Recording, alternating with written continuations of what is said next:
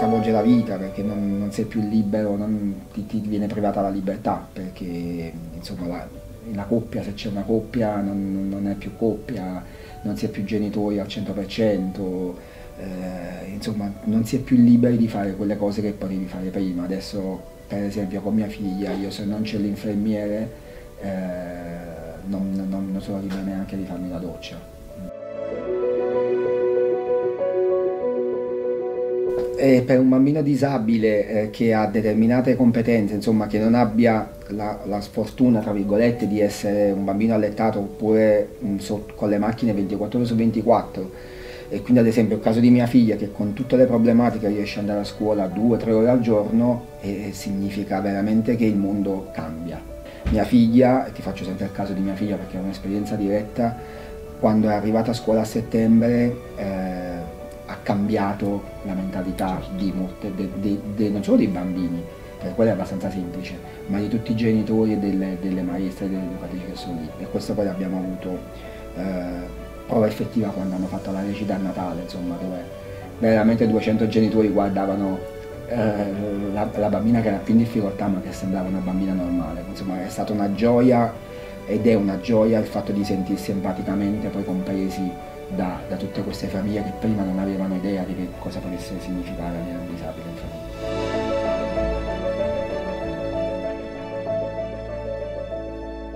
Questo, questo incontro stato, era stato voluto fortemente dall'assessore in consiglio regionale, eh, era stato proposto proprio da lui, dalla sua giunta ed era, era ai tavoli che ci sono stati la settimana scorsa dove ci sono state le prime proposte ehm, di, di, di, modifica della delibera ci aveva invitato proprio chiaramente al, al, a oggi, alla commissione di oggi per, insomma, per, spiegarci alcune cose, anche per confrontarsi credo con i gruppi di opposizione. Il fatto di non essersi presentato io lo interpreto prima di tutto come una mancanza di rispetto, devo essere sincero, verso tutte queste famiglie che oggi eh, qua, eh, per presentarsi oggi qua hanno dovuto incastrare infermieri, educatori, famiglie eccetera e poteva venire sicuramente qua a metterci la faccia e dirci chiaramente che aveva bisogno ancora un po' di tempo per sistemare tutti i dettagli perché insomma adesso noi sinceramente abbiamo, noi abbiamo colto un segnale di apertura all'incontro che abbiamo avuto e abbiamo anche noi fatto un segnale di apertura volendoci fidare. Però io oggi questa, questa, questa fiducia viene meno. E fin quando non vediamo i fatti scritti nella delibera eh, che contengano quello che noi ci aspettiamo e quindi i bisogni, le reali necessità delle famiglie e noi non siamo tranquilli. Noi ci sentiamo soli, più che abbandonati, che forse va bene, possono anche sembrare dei, dei, insomma, dei, dei sinonimi o comunque avere dei significati, significati equivalenti.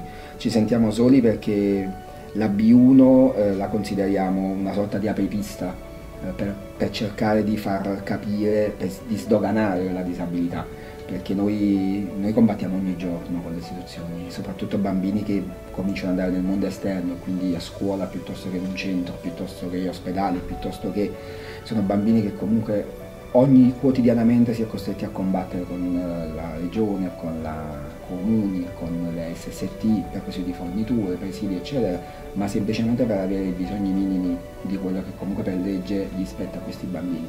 E sinceramente è una vita che già è pesante, molto pesante come potete immaginare per quello che vi ho raccontato da un punto di vista proprio di tutta eh, insomma, la situazione. Se poi questo significa anche ogni giorno ogni settimana andare eh, a combattere per i diritti di tua figlia e questo diventa veramente molto pesante. Quindi in questo senso noi ci sentiamo anche, anche abbandonati, soli ma anche abbandonati ed è questo anche uno scopo secondo noi del comitato molto importante, riuscire a far uscire le persone dalla solitudine, riuscire a far capire che si può combattere, che non ci si deve arrendere e che comunque non, non si è soli. Allora, Fortunato, martedì ci sarà una commissione straordinaria nel quale l'assessore Bolognini verrà a presentarci questa delibera. Noi ovviamente cogliamo tutti gli spunti che provengono sia dalla realtà che tu rappresenti, ma anche dalle altre certo. associazioni che hanno manifestato con voi e anche in altri modi eh, contro questa delibera Tu ci sarai martedì, immagino di sì. Assolutamente sì, cercherò di organizzarmi come oggi con, con gli incastri vari, però ci saremo e, e, e, speriamo che sia la fine di questo incubo perché non ne possiamo più. Okay. Noi comunque porteremo avanti questa battaglia, ma soprattutto ci dobbiamo prendere l'impegno di continuare a parlare di disabilità. Dobbiamo essere sicuri che tutti fuori sappiano cosa vuol dire assistere un disabile e avere un disabile in famiglia, anzi una persona affetta da disabilità, se esatto. mi correggo. Esatto. Grazie mille Gregorio, grazie mille. Vedi Assessore, di questo ti volevo parlare oggi. Questi sono i veri problemi delle famiglie, magari ci vediamo martedì e ne discutiamo?